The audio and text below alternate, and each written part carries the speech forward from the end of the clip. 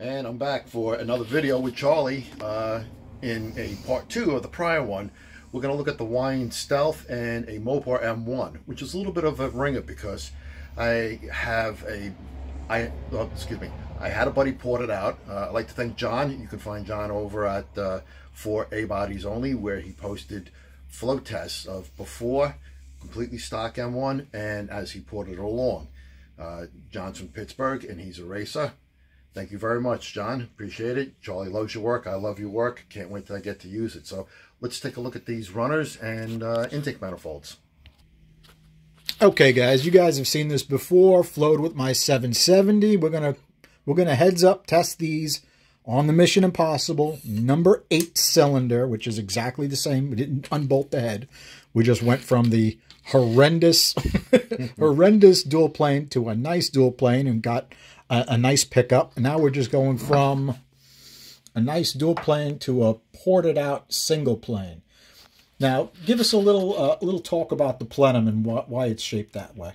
Okay. Basically, this intake manifold was designed a very long time ago for the stock cylinder head.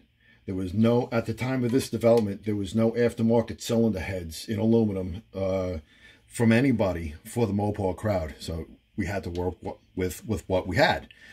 Mopar came up with this. Uh, it's very, very similar to the Holley uh, Strip Dominator. And this plenum opening is for the, of course, the thermoquad, which helps the grassroots racers. Oh yeah, I got my thermoquad shirt on. Now, a lot of guys with, oh, the thermoquad, this, that, uh, you know, they could be a pain, but, you know, for a grassroots racer doing things on the cheap, you use the carburetor you have. Uh, heck, I used to pick them up for $20. Not so anymore. This plenum, as delivered, as cast, Mopar would tell you to put some uh, dams in front or across, or, you know, like just inside. You're going to have to refer to the Mopar Performance Book. But yeah. now that we have it ported, okay all of this area here. Hold on, top. hold on a second. Let's put a little light on that so guys can see better. Okay, we can see down. We can see down this run. Yeah, now we can see. Yeah, uh, this is pulled back on the roof. You went down into the intake manifold. He didn't really mess with the floor too much. The divider of the runner just lightly touched. Doesn't need a lot of work. This thing really, really picked up on the CFMs. We got the port matched. This is well opened up to the gasket for the thermoquad. Everything bolts on and just operates flawlessly, no interference. So we have a much better flow coming in and wrapping around instead of the normally what you would see is a very sharp, sharp, just absolutely 90 degree type of roof corner.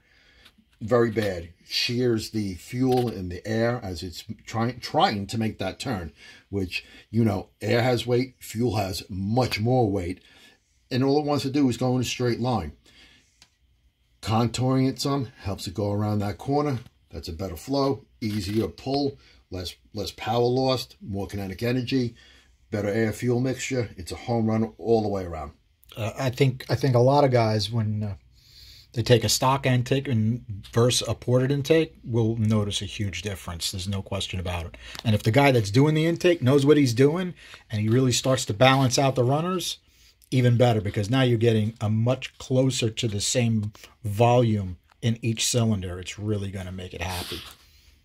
Okay, we just changed runners because this is actually the runner we we ran. We ran we ran on number 8, okay?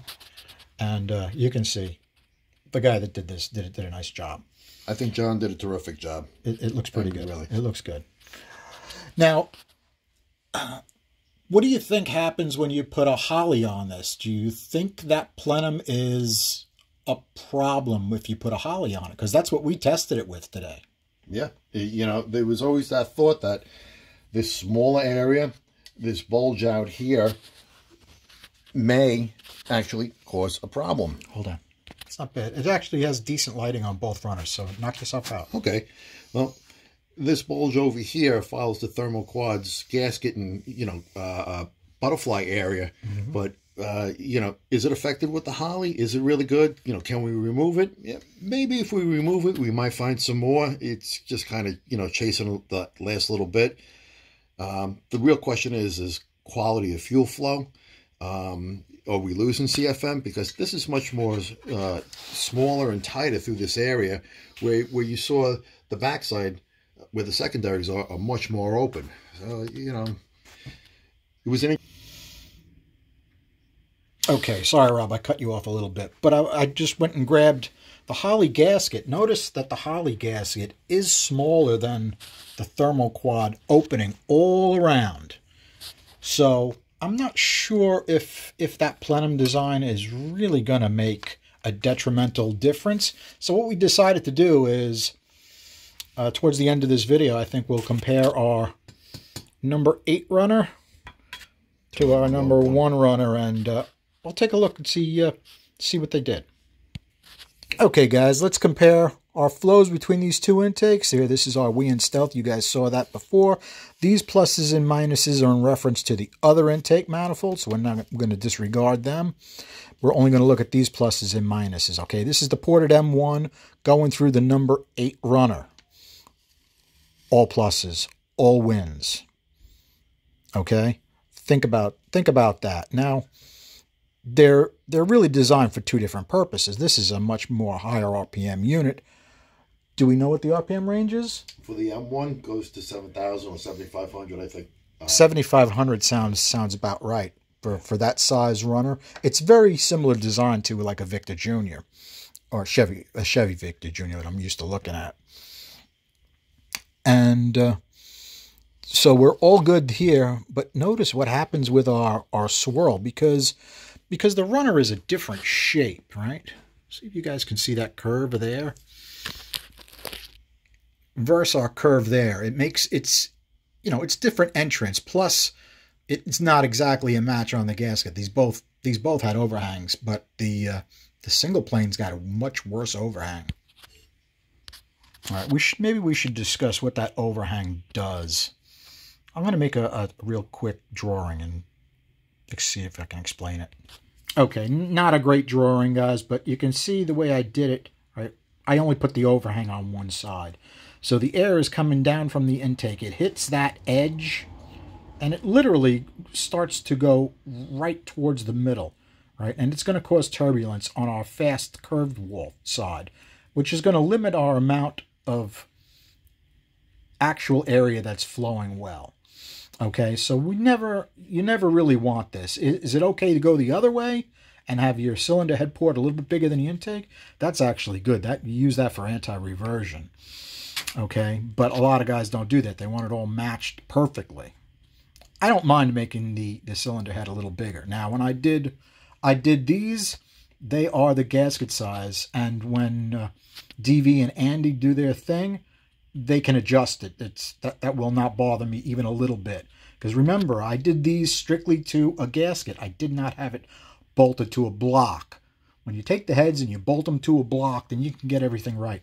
Eric Weingartner did a great video on how to get them just right. He actually has a better system than me, so I would think I'm going to be using his system next time I, I do a port match on a block. Okay, we'll take a quick look at our, our swirl. Very interesting, right? Plus, minus, minus, minus equals, plus, minus, minus, minus, plus, plus. All right, if you're not running a decent sized cam, probably don't want this intake. I'm going to say I, I, wouldn't run that intake with less than a like a 500 lift cam, even if you're putting it on the street. Is that fair enough to say? Yeah, I mean, you really want to lift that valve as much as possible to take advantage of the head's airflow. And on a single plane, I, I have I've come to notice that somewhere around the you know, engine size dependent, you're really going to want to pick up that duration to around two. You know what? I'm looking at the wrong. I'm looking at the wrong sheet. I'm so sorry, guys. This is our next flow test, like a goofball. Uh, I started using this drawing because I already did it. The, these are not. This is a different test. I'm so sorry. Let's fix this. Okay, guys. Sorry about that. That last one where I was talking about the swirls, those are those are the wrong head. That's my my Aussie Vic Jr. ported that we went heads up against this intake. I don't know if that'll fit on this this video. And that might be our next video because we're already 10 minutes in. So take a look at what our swirl did going from the, the dual plane to the single plane ported. Minus, minus, minus, minus, minus, minus, plus, plus. much different swirl curve, okay? All right, this is a little bit different than the Vic Junior, okay? You, you're starting to get some action at 400. I would still run like a minimum of 500 lift on, on this. But that's just me. I don't have no problem running 500 plus lift, even in my old work truck. Uh, got anything else you want to say about that one runner? Because we're going to compare this runner to the uh, number one runner. No, let's video. compare runners. The only other thing I got to say is 500 lift, in my opinion, is not that big of a lift. No, it's not. get in there, yeah, run it. Run with it all day long. Absolutely.